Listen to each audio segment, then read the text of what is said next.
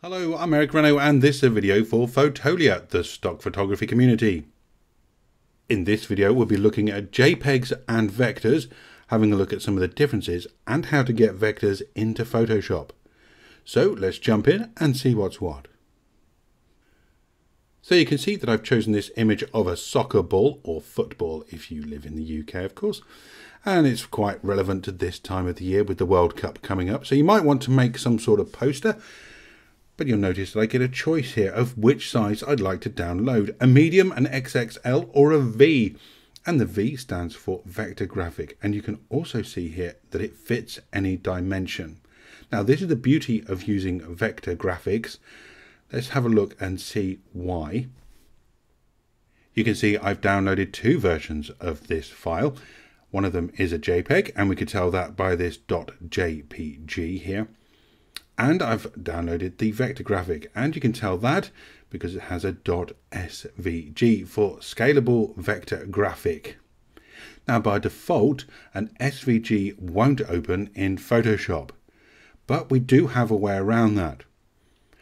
As a member of the Creative Cloud I also have access to Adobe Illustrator and SVGs open as native to Illustrator so we can do that all I have to do is double click on the image here and up it comes in Illustrator. As easy as that. Now we've zoomed right in, so let's use a shortcut that we might be used to in Photoshop, that's Control or Command and Zero to fit on screen. Now as I bring the mouse over this image you can see that there's some blue lines appear and these are actually paths. If I go and get this black arrow up the top here and just click on this image you can see all the paths that make up this image of the football. Then there's another path down here for the top of the grass and another one for another layer of grass there. So in total there's three groups of paths, but they're all made up of individual paths too. Now Photoshop uses paths for shapes and for text. So you'd think that we'd be able to open this directly in Photoshop, but unfortunately SVGs aren't accepted. All we have to do is go to File, Save As, and then change the format to something we know comes into Photoshop. And an AI, an Adobe Illustrator file, most certainly will. So I'm going to choose that and click Save. And that's gone into the same file as before. I'm going to click OK here. For my purposes, that's fine. Now I'm going to scooch back over to Photoshop here and then we can see that we've now got another file, this .ai, and that can be opened in Photoshop, and in fact it opens as a smart object. So let's do that now. But before that, I'm going to open this version here, the JPEG, so we can compare the two. So here I have my JPEG loaded into Photoshop. Now I said at the beginning that you could scale vector graphics as much as you like and they would stay pin sharp. And let's demonstrate this first with the JPEG.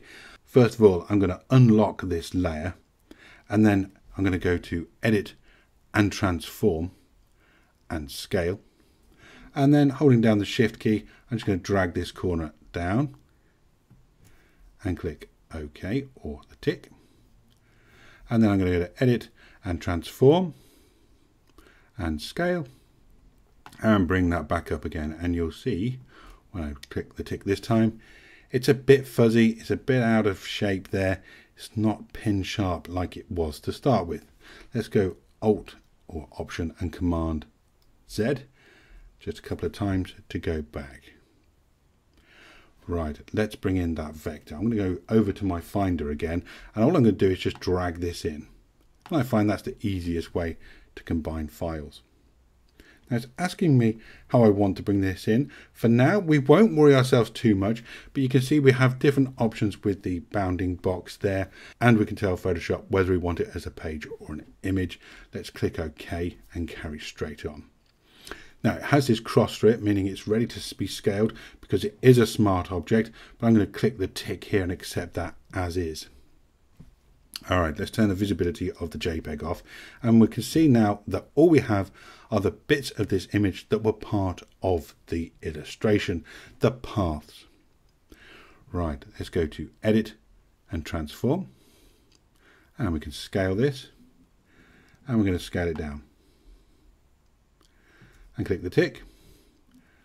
And then we go to Edit and transform and I'm pretty sure you're guessing what's going to happen here. We bring this back up and I can bring this as big as I like. I'm going to take it bigger than the original and click the tick and you'll see that it is still absolutely pin sharp.